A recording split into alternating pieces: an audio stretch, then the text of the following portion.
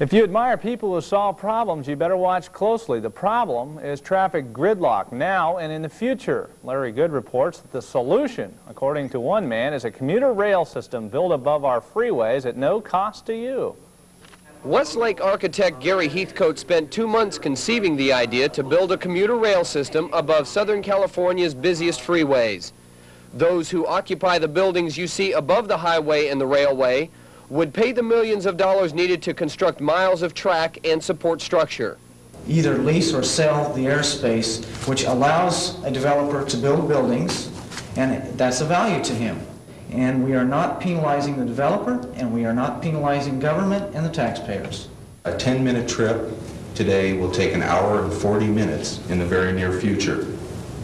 The average freeway speed will go from 35 miles an hour to 19 miles an hour. These are just two of the dilemmas facing Southern California drivers in the next 13 years. Heathcote believes that a rail system would remedy or solve these problems.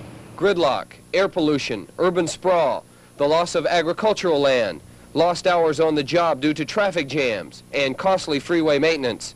These town centers would consist of commercial and residential development in clusters near large cities along the 101 corridor.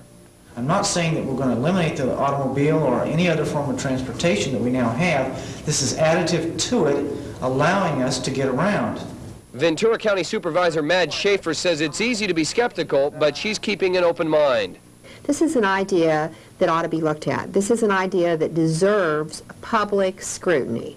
To blossom, Heathcote's concept must weather the bureaucratic barrage from local and state governments, and it must also draw support from the business community. It will take buildings like these over a freeway like this to finance a railway system throughout Southern California and possibly the rest of the state. A wild, exciting concept.